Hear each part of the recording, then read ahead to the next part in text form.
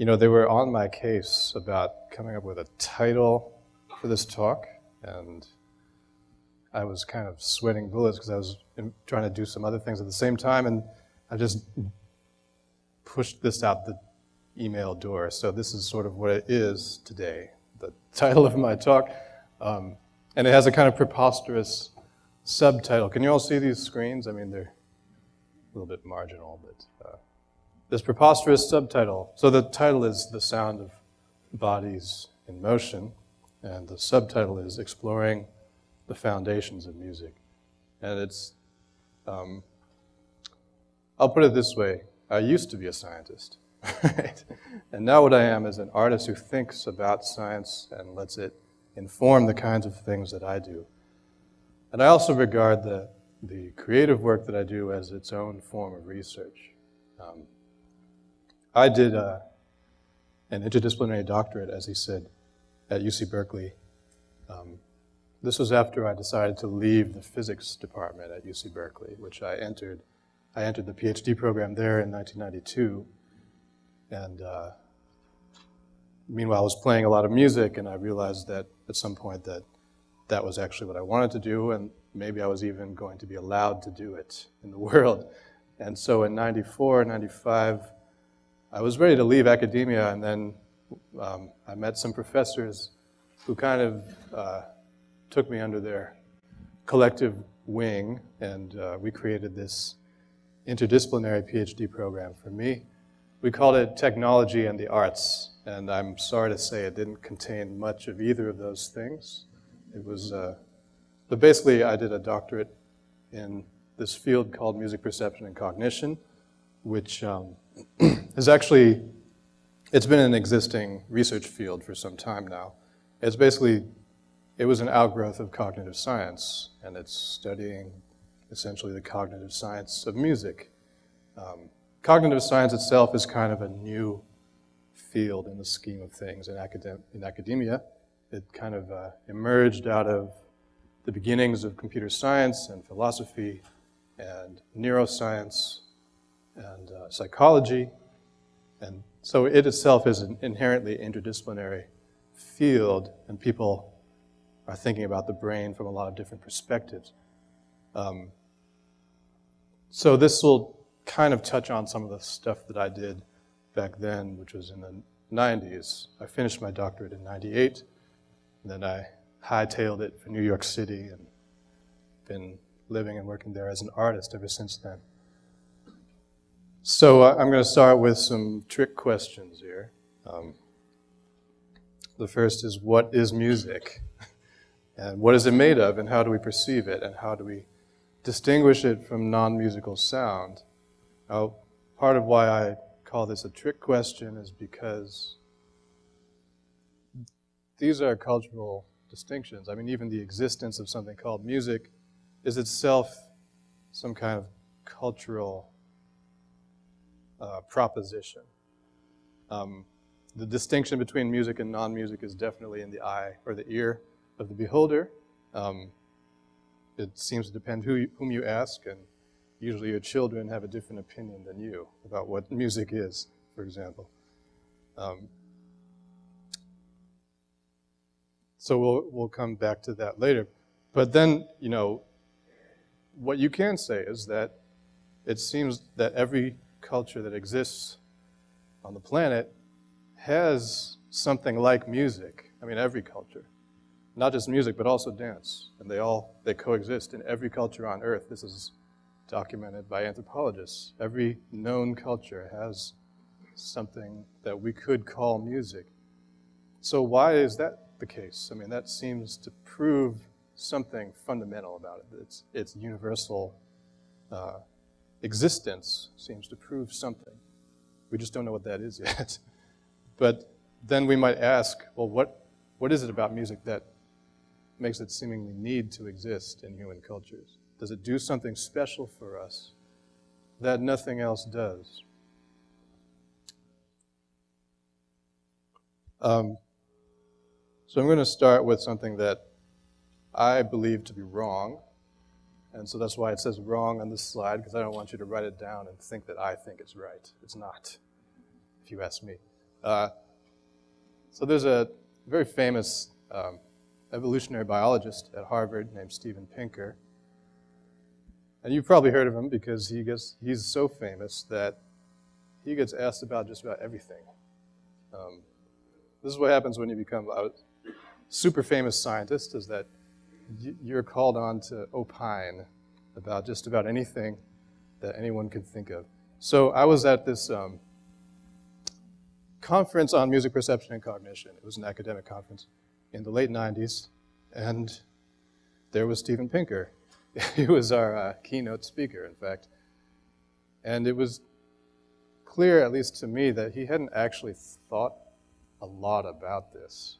But this is the sort of thing that we were at MIT, and I don't, not going to, no comment. Anyway, uh, um, but this was his kind of thesis that day that, um, and he's since repeated it, and it appears in some of his books, that music is nothing but quote unquote auditory cheesecake. Now, what does that mean? Well, if you think about what, what is cheesecake, all right? uh, well, cheesecake is this concentrated dose of things that in large doses are bad for you, but in small doses you need. Your body needs them, your body craves them, and that's why you like the taste of it, is because uh, these are biologically necessary substances, sugar and fat, that earlier in human evolution were in short supply. And so we evolved to favor those things so that we, when we did find such things, we would stock up, like nourish ourselves with them. And now that it's available in abundance, of course, we gorge ourselves on it, but that's not helping us, right?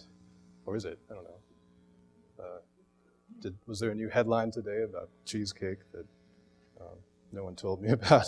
anyway, so this is the idea that uh, somehow music is the same kind of thing, that it's basically this concentrated dose of stuff that we need in small doses, but we don't really need it in large doses.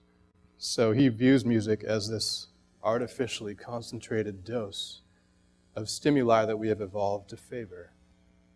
So music is made of harmonic tones um, that we perceive as pitch, which is how the human voice works. It has a nice overtone series.